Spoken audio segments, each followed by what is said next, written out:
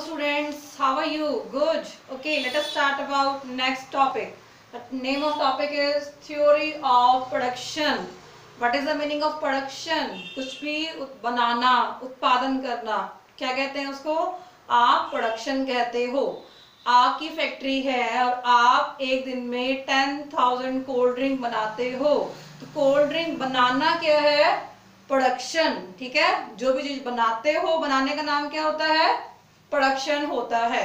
इसको हम लाइन से समझते हैं clearly production is purely a technical relationship with connect factor input and output आपकी कोई फैक्ट्री है, जब भी आप कुछ बनाते हो तो क्या चाहिए? इनपुट चाहिए। What is the meaning of input आपको चाहिए land labour and capital this is क्या है ये सारी चीज़ें? इनपुट है। और क्या निकलता है इससे? आप बनाते हो कोल्ड ड्रिंक कोल्ड ड्रिंक क्या है? आउटपुट और लैंड लेबर कैपिटल क्या है आपका? इनपुट इनपुट को यूज़ करके जो भी आउटपुट निकलता है, उसका रिलेशनशिप क्या शो करता है? प्रोडक्शन को शो करता है कि आपने कितना प्रोडक्शन किया है. क्लियर कुछ बनाने के लिए आपको चाहिए? इनपुट और क्या निकलेगा वहाँ से? आउटपुट क्लियर अब हम देखते हैं कि वाई ठीक है? वाई क्या है आपका?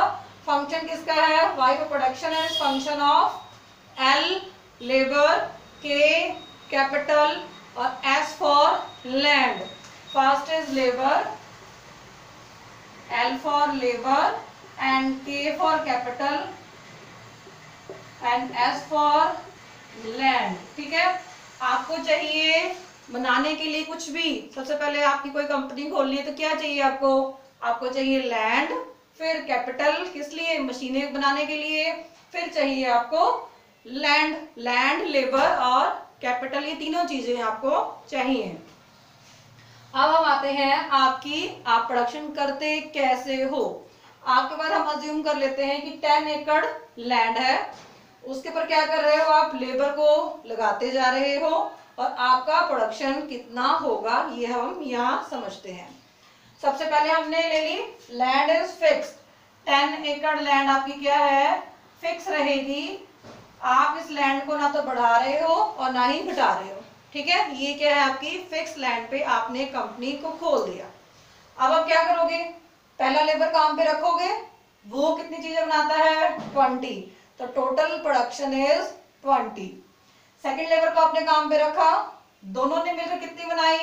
फिफ्टी थर्ड लेबर काम पे रखा, कितनी चीज़ें बनी? नाइनटी फोर लेबर काम पे रखा, कितनी चीज़ें बनी? वन ट्वेंटी ये क्या है? लेबर को आप काम देते जा रहे हो. This is your total production आपको टोटल प्रोडक्शन इतना मिलता जा रहा है.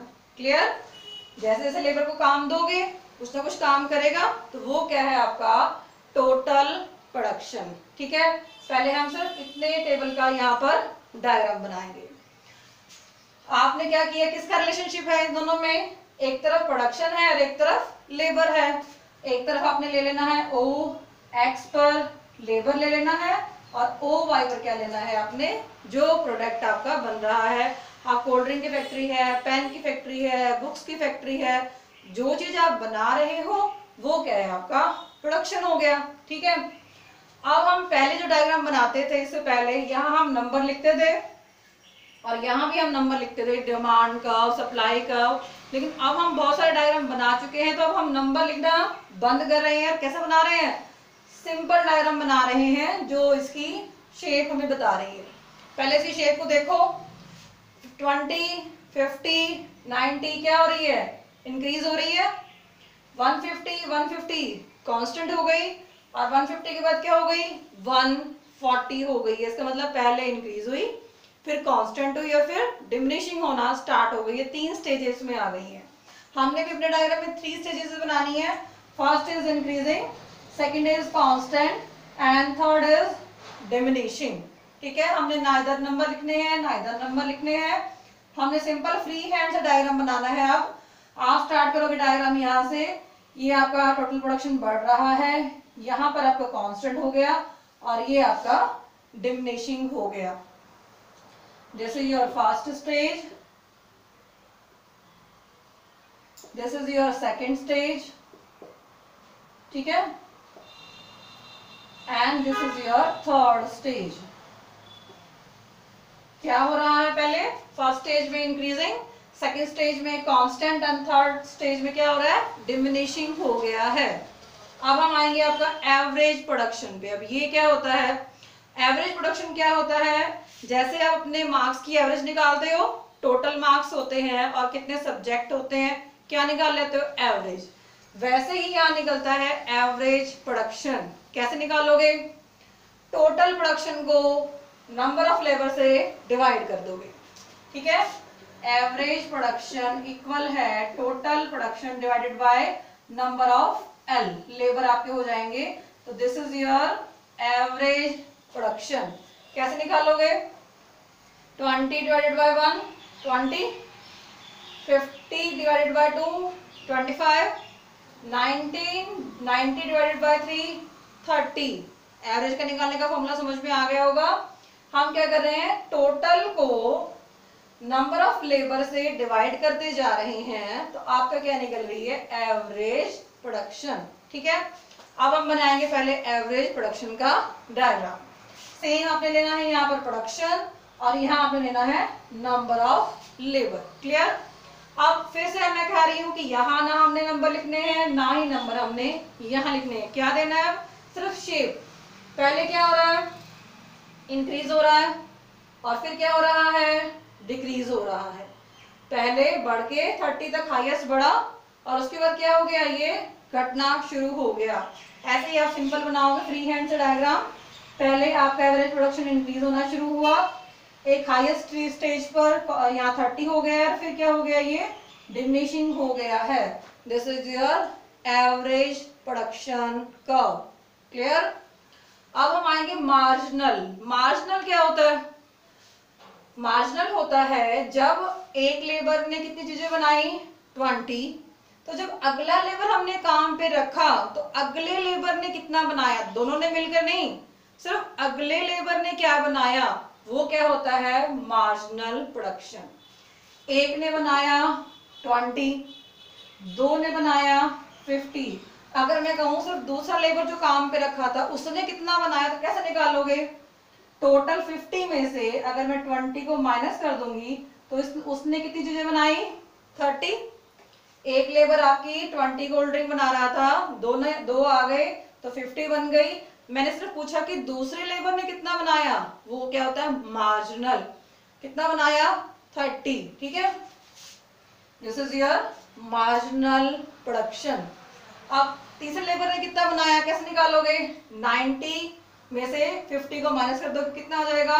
40 marginal production of third labour अब marginal production of fourth labour क्या होगा? फोर्थ ने कितना बनाया? 120 में से आप 90 को माइनस कर दोगे तो क्या निकल जाएगा? आपका ये मार्जिनल प्रोडक्शन निकल जाएगा। हर बार आप ऐसे ही करोगे, इसमें से इसको माइनस कर दोगे 150 में से 150 को माइनस कर दोगे, कितना आ जाएगा? ज़ीरो 140 में से 150 को माइनस करो कितना आएगा? Minus ten. This is your marginal production इसका भी हम फ्री हैंड से डायग्राम बनाएँगे। देखो क्या हो रहा है। सबसे पहले 20 था 30 40 पहले क्या हुआ? इंक्रीज हो गया हाईएस्ट स्टेज पर पहुँच गया और फिर क्या हो गया? डिमिनिशिंग होना स्टार्ट हो गया। और बाद में क्या हो गया? ज़ीरो भी हो गया ये। फिर क्या हो गया? नेगेटिव में भी चला गया। ठीक है? तो क्या हुआ ये? सबसे पहले स्टार्ट हुआ, फिर वही डायग्राम अलग से बनाना चाहो, अलग से बना लो, इसके अंदर बनाना चाहो, अंदर भी आप बना सकते हो। इज़ योर प्रोडक्ट और यहाँ पर आपके नंबर ऑफ़ लेबर ले लेने हैं आपने। सबसे पहले आपका ये इंक्रीज हुआ डिक्रीज हुआ, ये आपका इंक्रीज हो गया मार्जिन प्रोडक्शन हाईएस्ट पर पहुँच गया और फिर कहा गया? नीचे आ गया। नीचे आते आते कहा पहुँच गया? ज़ीरो पे। ज़ीरो मतलब इस लाइन के इस लाइन को इसने टच कर दिया। ज़ीरो का मतलब क्या है? कि ये लाइन ने क्या किया? इस लाइन को टच कर दिया है। और नेगेटिव नेगेटिव का मतलब है ये लाइन इस लाइन के नीचे पहुँच गई है। मार्जिनल प्रोडक्शन की लाइन ओ एक्स के जब नीचे पहुँच जाए तो वो क्या होता है आपका? नेगेटिव में चीज़ चली जाती है। Marginal production and this is your average production ठीक है? यहाँ पर थ्योरी ऑफ़ प्रोडक्शन क्लियर हो जाता है। आगे हम पढ़ेंगे return to scale return to factor वो हमारे नेक्स्ट वीडियो में होगा। Okay thank you students